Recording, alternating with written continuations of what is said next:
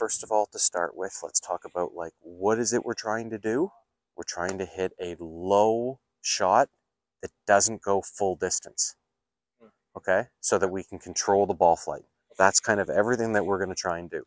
Um, so before I even give you any instruction, what's the first bunch of random tidbits that come to mind in order to make a full swing, not create as much speed, in order for you to hit it lower?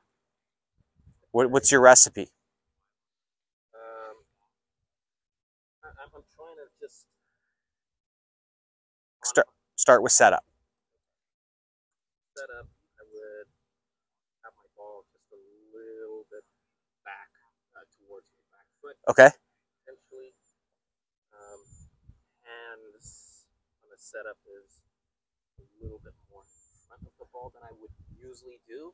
Well, they'd have to be because the ball went back, right? Every time the ball goes back, the hands end up being more forward relative. So definitely hands forward to this. Um, oddly enough, I feel like my weight shift would be a little bit more aggressive towards leg. It might even just stay there. Um, other than that, Okay. Cool. And what's what what are you trying to do in the swing? Whether it's I, Well, anything. opinion, I try to keep it a little bit more and steeper. Yeah, because that my problem was a little bit too risky yeah, okay. coming down. Okay. Just kind of want to like have a much more of a swooping action, I suppose. Okay, so there's two there's two schools of thoughts here. One person might say, "Hey, we need to hit down on the ball harder in the name of angle of attack." Okay, um, but that's not the way that the best flighters do it. That's not Shane Lowry hitting seven iron from 120 that doesn't go higher than Dylan's head. Like that's not how he does it. He actually does the exact opposite. So let's think about what is it that's going to make this that club create the loft requirements to send this ball low.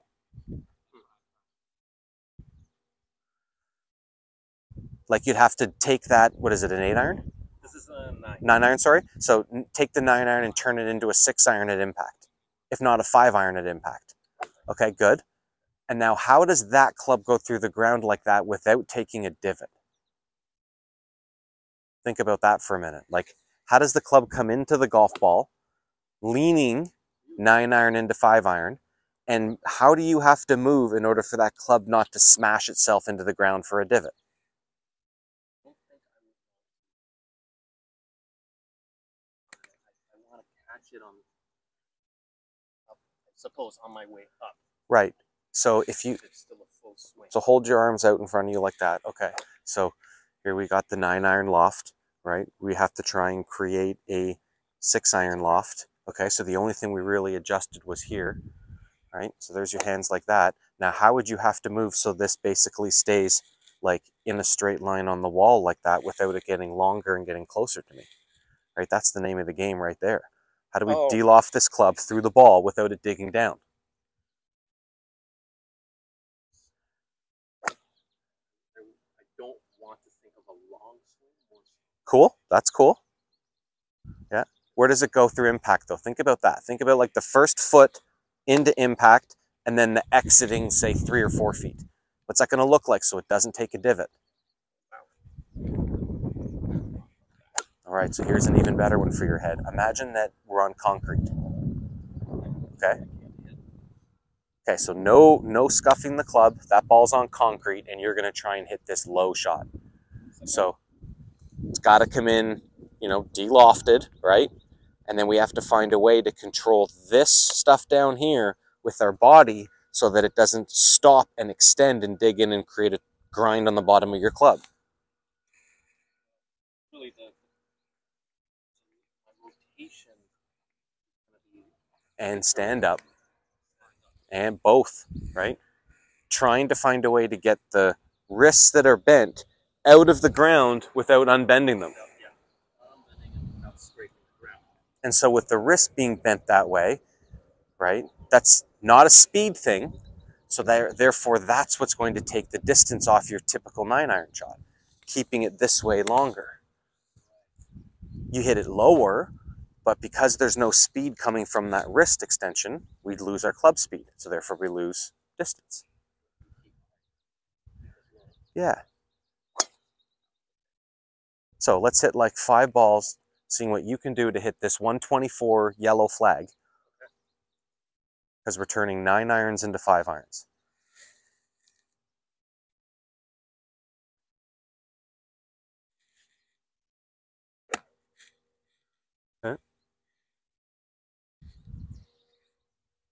Pretending the ball's on concrete so we can't dig into the ground.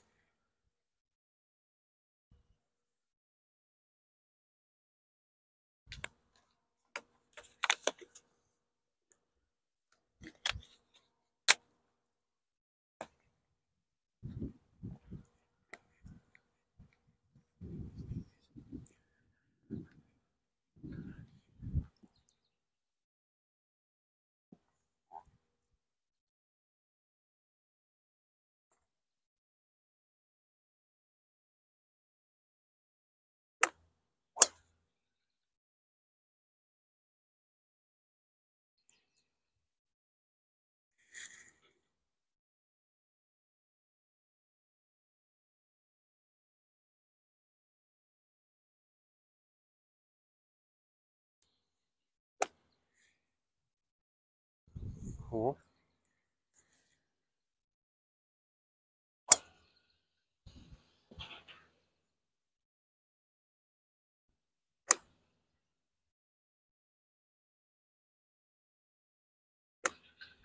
Hey, really good. Okay, so um, so if we talk about how this club comes into the ball here for a sec, if we want to have the lowest amount of loft, right? That's simply delofting it. As this club comes into the ball, trying to keep it from scuffing the ground involves a lot of legs standing up and body keep turning. So I like everything that you're doing. I just want you to kind of give have an idea of. What makes this club kind of hit the ball like that? What makes it release is the fact that we're pulling up because we're standing up right? So the pulling, like getting the club to go lower keeps our ideas on no loft, but then from there, getting this out of the ground involves pulling up on the body to pull up on the arms to pull up on the handle. Yeah. And so that's what, like most players, if I went over there right now on the concrete and said, hey, let's go hit some balls off the concrete, you'd go like this to not scuff your club, right? You'd pull up like that right? But if you felt as though that you could do that whole thing with your body to pull up and pull this thing out, that's actually going to release it for you, even though you've turned the nine into the five. So you got the idea of what the club's going to look like, and then let's feel like we can stand up to get it out of a divot.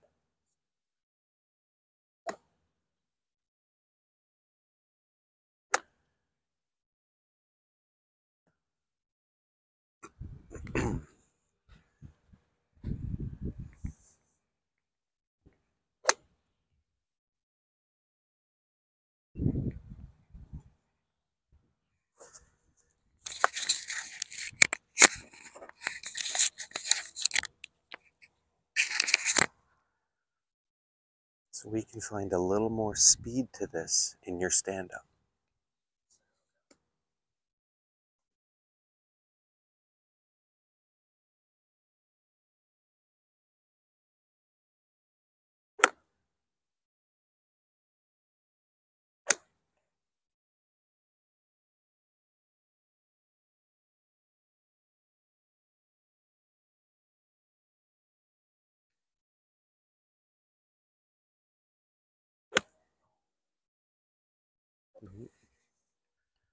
So if I give you a feel to something, it might feel like your arms are soft and slow for this shot. But the only way that the arms can actually move is because you're trying to go this way and up more. Right? Trying to feel like the arms stay a little bit softer. Definitely going to feel slower.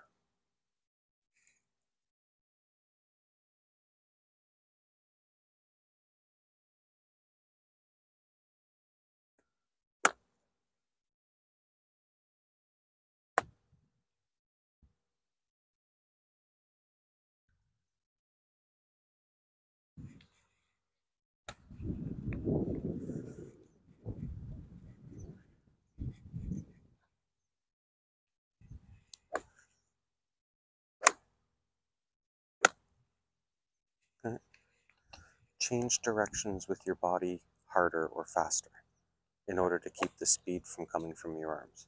So arms soft and slow, body turns hard and stands hard at the end. It's going to feel like that's the part that's the whippiest.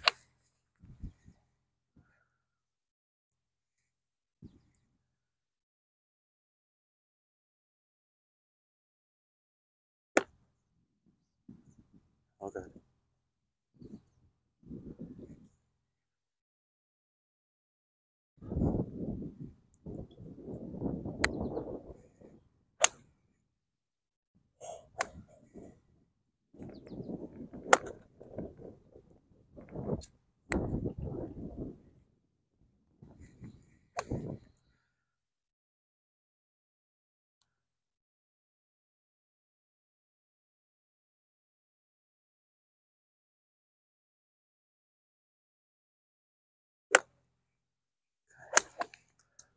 Going to feel closer to a full swing than you think.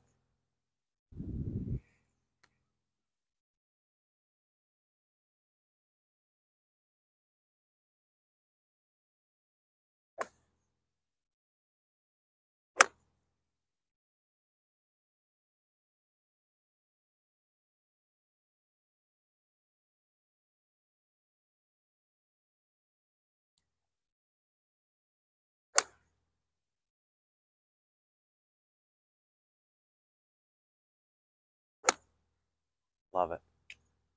So here's the thing is that we have a concept of trying not to scuff the bottom of the club, delivering like no loft to this golf club. Right? So we're trying to get this thing de-lofted and almost brush against the ground. In the intention of doing that, you start taking smaller divots. Okay. Okay. I, I'm psyched myself out. Don't touch the grass at all.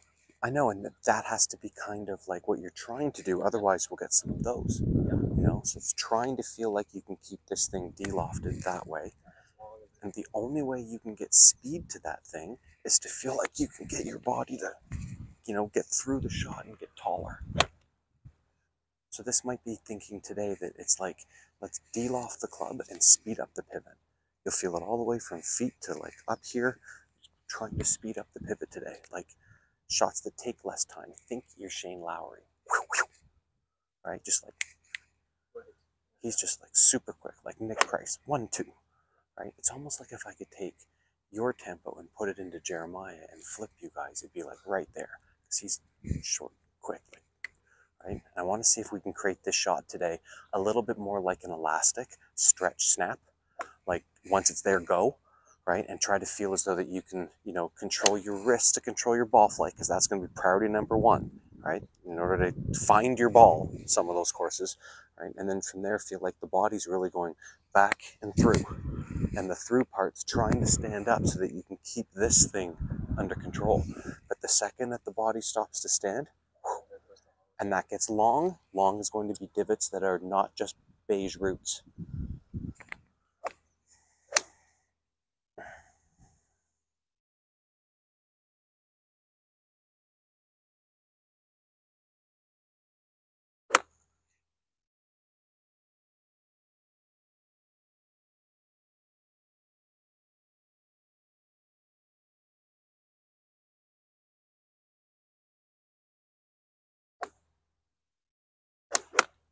Cool. That's it. Yeah, I've And- never been one swing just so slow. Worry like psychologically Mhm. try to do it now. All this stuff. Totally. So if we can focus on that it's soft, slow arms, it's wrists that are trying to hold back, and the only way they can hold back is if you start getting quick and wiry. Let's just call it the quick shot. Okay? And I'm hoping that through developing what we'll just call as like a another arrow is just like, hey, this is your quick shot, and it's going to be a low one. So your stock shots, don't change them. You got them, everything's great. This is going to be that quick, low shot, right? And it's just another shot in your arsenal in the event you ever need it. Okay.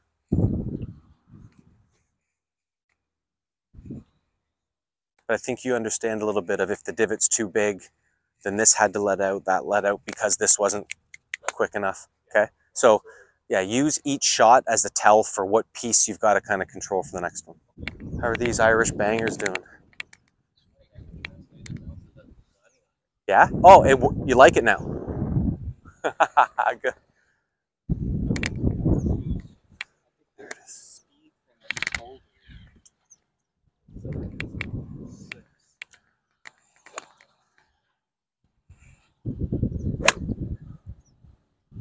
The speed thing was definitely connection.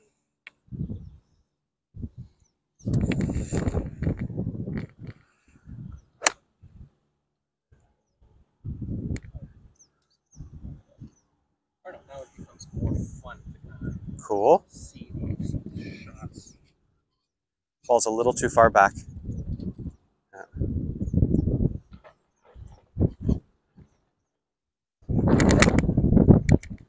Cool. More open. Cool. Now look up. Look at that yellow flag. See how far it is out there. Like out to the right, I mean, in your visual. Okay, let's hit it.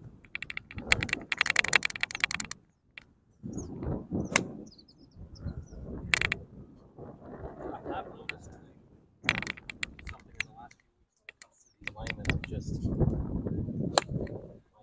my perceived right on it. Yeah. I feel like I need to align. I can Yeah. change my one face just a little bit more left of it because I don't know visually. uh, My perception says I think this is the line. Because if I go Yes. here, well, what I perceive when I look this way is different to when I look this way. Exactly. It's all for sure. I That's totally with you. about the putting. How Nicklaus look this Mhm. Tigers here. Everyone's so freaking different. Absolutely.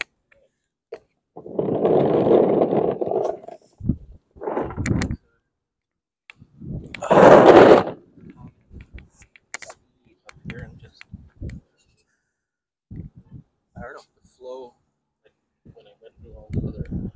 just like, That's a little different. So the what we call the quick swing. Okay, cool. So fall a little more back. There we go.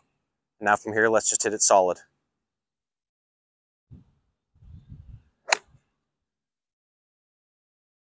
Flights it down, same type of, you know, curve. But you can think of it this another way that we now have the ball position way back in your stance, and we've aimed your stance more to the left because of that to make the path of the club kind of go this way more you're still hitting this ball like down, flighted down with the face open. So think about all the all the flights that are out there. Normally the person that hits the draw hits the lowest and the person that hits the fade hits the highest. Right? So the push slice is the farthest ball to the right and highest, and it goes all the way down until you get a low pull hook. Right? So no one ever pull hooks it high, and very rarely do people flight it down and curve it to the right but you've built this into your setup so that your path ends up being straight. So now we don't have any crazy shots, but the ball being back influences low flight with a cut. Jeez. Does that make sense? Like, okay. Jesus.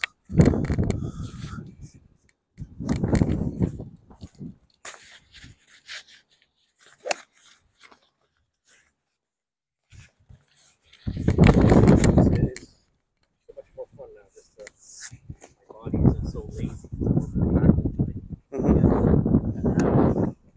Now that you mention about having down and up, now I understand the guys with the tree trunking. Rom, Shane Lowry. Yeah. You don't Darren Clarke. really need to go very far Right.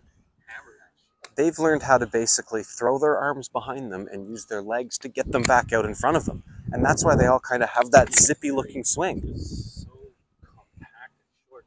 Yeah. Right. So the the longer we go, the lazier we go, the more it kind of flops it up nice and high, right? So the opposite of that would be like the short bump and run.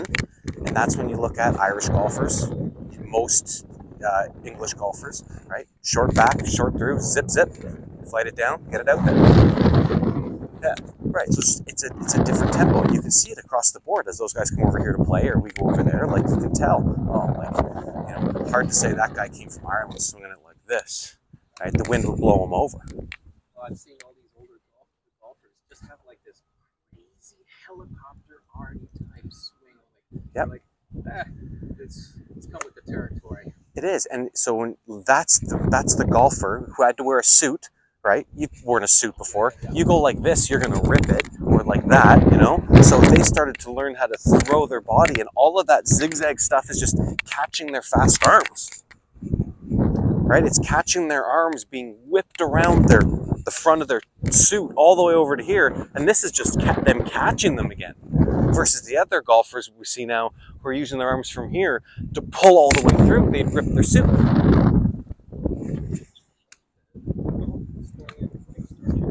Oh,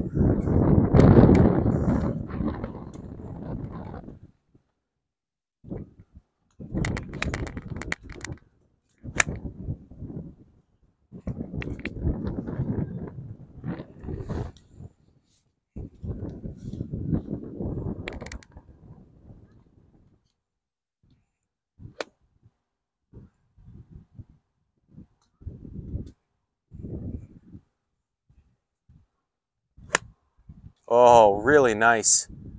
Nice whack into that one. Good for you. Show me the driving iron.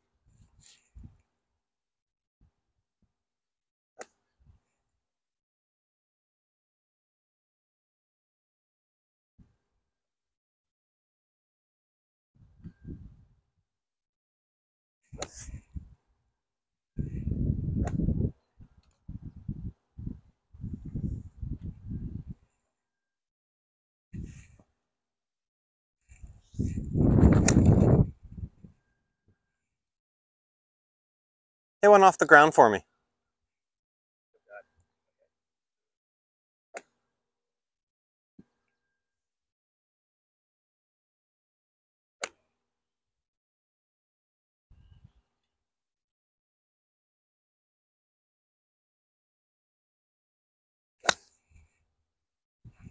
I didn't see the flight. What was it? Yeah. Okay. That was fat though, right? Okay. Let's get let's get one solid. See what it does.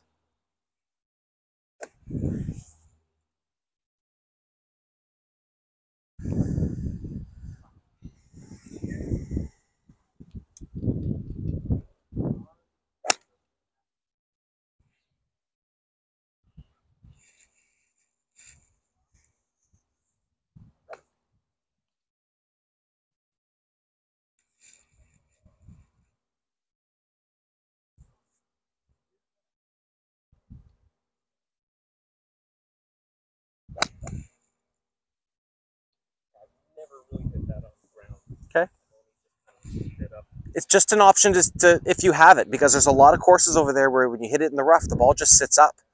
You got like I hit driver out of the rough if I had to, Yeah. yeah. right? Like it just sits right up. It's not it's not bent grass rough where it's- it's long like your backyard. I think I don't know psychologically four and two. It's weird. I have the the four. I feel like I can hit Yeah, on the ground. I can't tee it up. right. Two, I can tee it up. I mean, hey, most people don't even ever consider this off the ground. Just I'm saying, hey, there might be a time where you want to use it. I use my one iron off the ground at least once a round. Yeah, playing lesson on Tuesday. Didn't hit a great drive down the right side of Heathlands one. It's like 245, hit a one iron to 20 feet off the ground. I birdied four of the first five holes in my playing lesson. Uh, yeah, uh, tapped in for a one footer, made an eight footer, made a 10 footer. So we want to get in front of it, right? Upper body leans forward. Whether you do it at setup or you find the momentum to do it during the swing, up to you.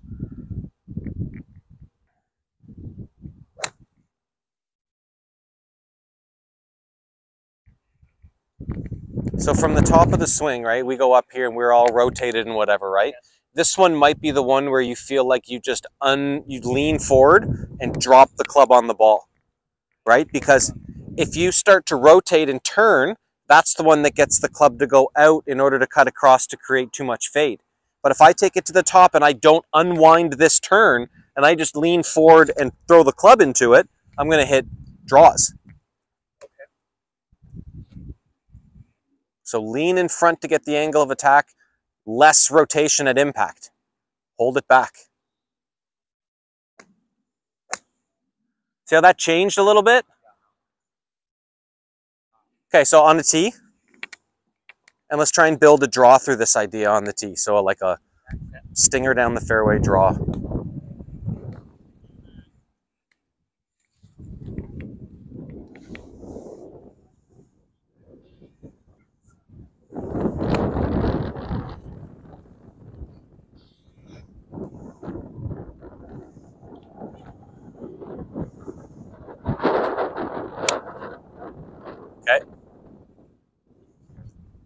So if I have, go ahead and tee it up. So if I've got my stance line, which is parallel to my target line, Okay. right, and I go up to the top of my swing, Yeah. trying to feel as though that with this move that the arms and club stay inside that line the most as it comes down. So it's a slide, it's not a rotate, and then from there the arms come down. I'm just going to catch it. Changes the delivery of the club. Yeah. So take it to the top, hold it up there.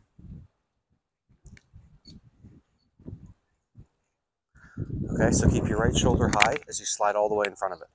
Just move it so it keeps the slide. Yeah. See where the arms come from?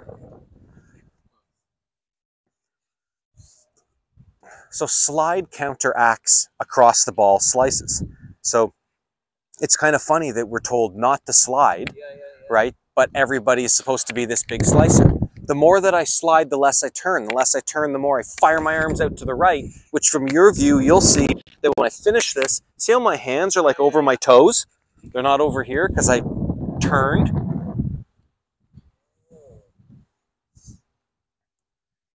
You might feel like you keep your back to the target longer. Just slam the club into the ground. It's going to come from the inside because of it. Draw.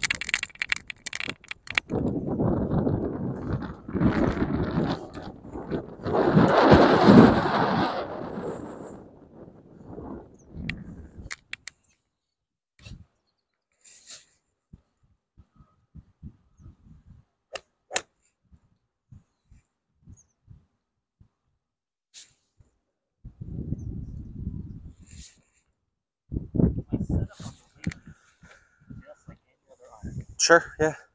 Yeah. Just try and incorporate these pieces into your normal good golf swing. Okay. Looks like maybe you're trying too hard to do too much. You've got a pretty good idea of what we're doing. Go ahead and swing one at it.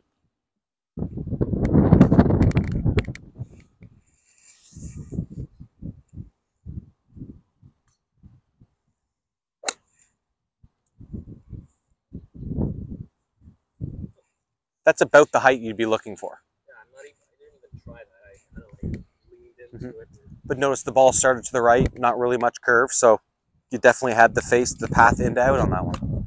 Okay. So those, and I want you to try to feel as though you can do this similar to the pitching wedge. So I'll set one up here. Come on and take a look from this view. So I've got my target line where the ball is relative to the target line, but you can see relative to me, that's totally different right? Relative to my feet, the middle of my stance would be there.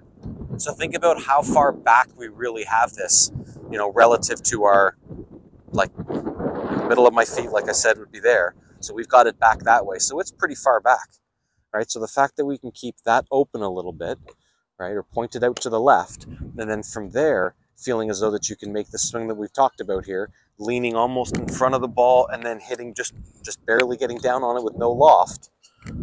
That ball, whoop, that ball starts out to the right every single time. Okay, it always is going to start out to the right of where you're standing. Okay, here it is again. Stance open, ball appears way back because of that, right? And then from here, the same thing. That ball starts out to the right. But because we're catching it so much earlier, this is going to, like, you're not going to take your arms and you're not going to swing too far past this way because the ball's way back there.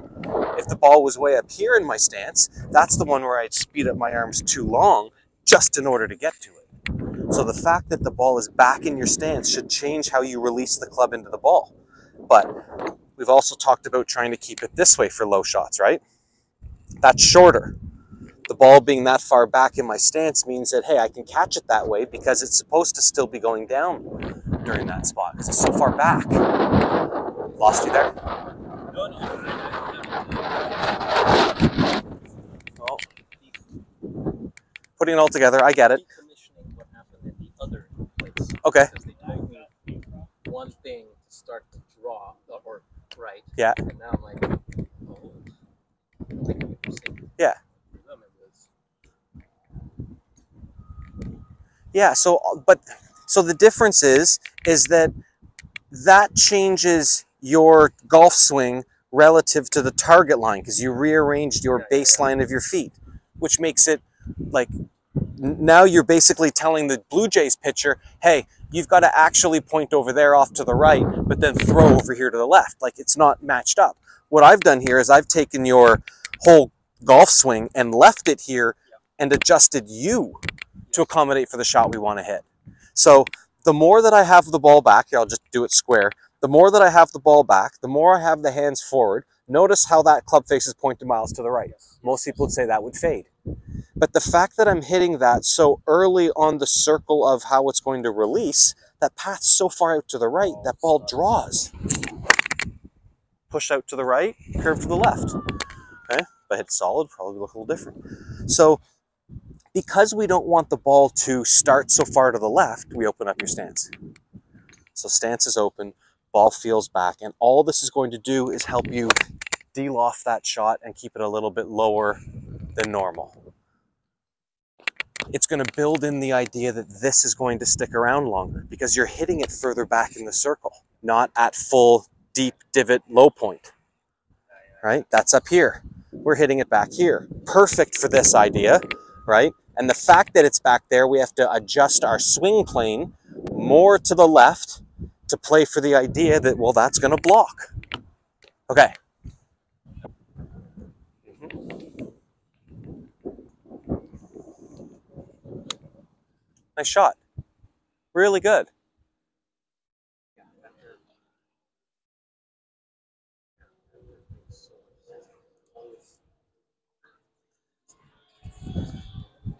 Like there's so many things that we can do to a square stance to hit the ball low, but every one that we do ends up either putting curve on it or changing your start line. Because there's where my body sets up, right? That's going to dictate how I'm going to swing through this way, right? But if I all of a sudden move things back over here to hit, now I'm swinging this way. See how that swing plane's totally different than where the target line is. So we're like we're taking basic squareness and making it work for us. Hey, if we hit the ball early, we hit it low. But if we hit the ball early, we hit it to the right. So let's just aim to the left. Perfect. And that's how all the best players figured it all out. But now, with most of the guys with TrackMan, they'd get you to do all types of other things that are really weird in order to change delivery of the ball by changing this. Yeah. Just, it's gnarly. Exactly. Yep, I like this.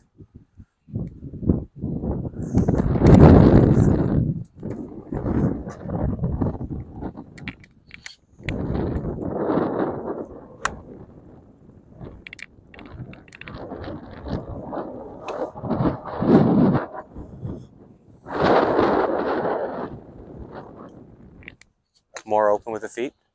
Sorry? More open with the feet. Good. Hands forward a bit. Good. The more you put your hands forward, the more, the more the face points out to the right. There you go. I like it. Huh. Okay, so again, like this is just a shot. This gives you an idea of a shot. So if I were to say, hey, here's a seven iron, and play this in the forward half of your stance, um, aiming square to the yellow flag.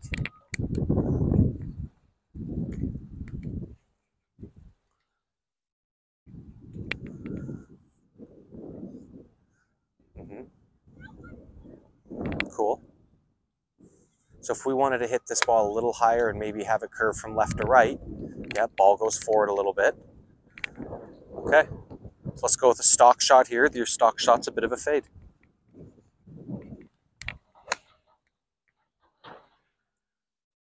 Think the biggest thing that we can do mechanically, but also, you know, for your practice, is still trying to feel like you're getting up faster. Yeah. That you're pretty much jumping into the finish. Jump right up tall as the club goes through the ground.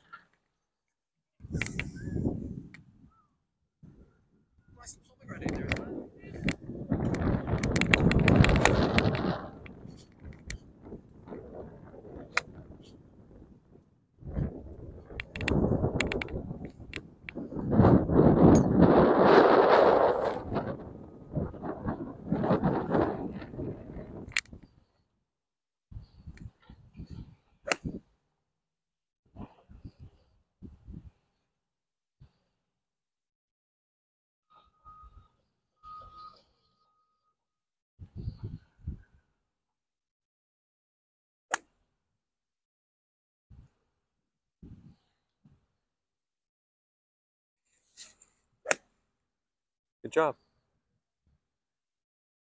So we've worked on the low one. I'd like to work on the high one with this, trying to feel like you can stand up in order to feel like you launch it into the clouds. So it's like the the height is going to come from you getting taller better, right? While your lower one was more about you getting turned faster. Okay? So I still like the idea of you trying to feel like that this is wiry, getting you around here in a little quicker time. Then as you do that, really make sure that this right left knee is straightening so that you can jump up and get that way. Okay.